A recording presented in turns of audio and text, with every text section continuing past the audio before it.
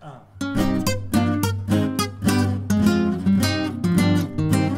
Hace como una semana que un paisandero mistongo me invitó para un bailongo en el pueblo de las ranas. Las principales bacanas de toda la población se fueron para la función a la fiesta enarboladas porque habían sido invitadas con tarjetas de caratón.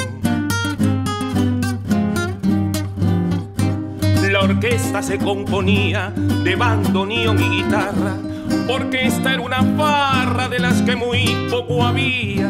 Cada ciofico tenía en el baile su bacana, o mejor dicho, su dama, para desempeñar un rango y poder bailar un tango, pero muy de, de la banana.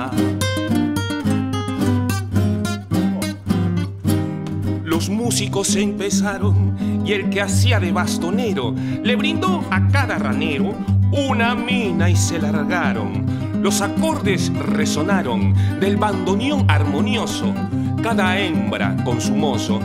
Salieron como pegados porque el baile había empezado con un tango perechocho.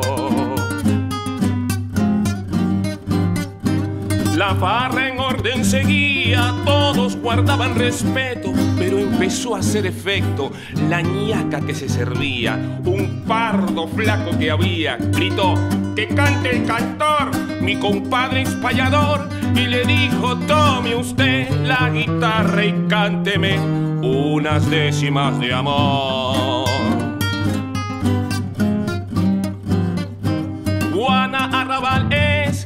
Que ella misma cántele y algo también dígale a la parda filipina.